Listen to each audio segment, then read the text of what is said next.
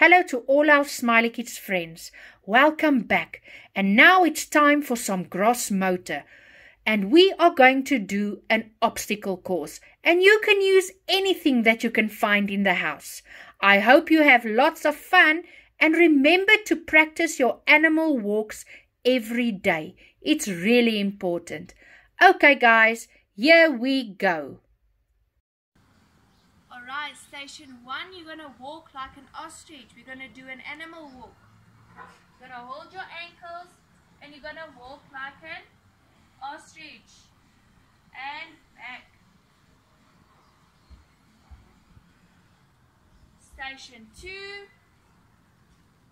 you're going to take your spoon and your onion. You're going to take one hand and you're going to balance it. You're going to walk one side of the ledge and on the other side of the ledge.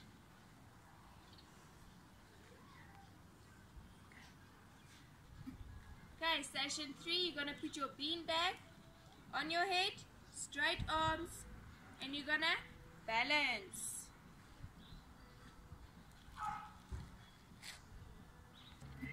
Right, station four, with both feet, you're going to go left, right, left, right,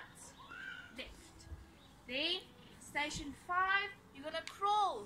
Use both your legs to crawl. Roll, roll, roll, roll, roll. Okay, next station, you're gonna do two feet, one foot, two feet, one foot, two feet. Then the last station, you're gonna take your ball, you're gonna throw it in the basket. Okay, enjoy guys.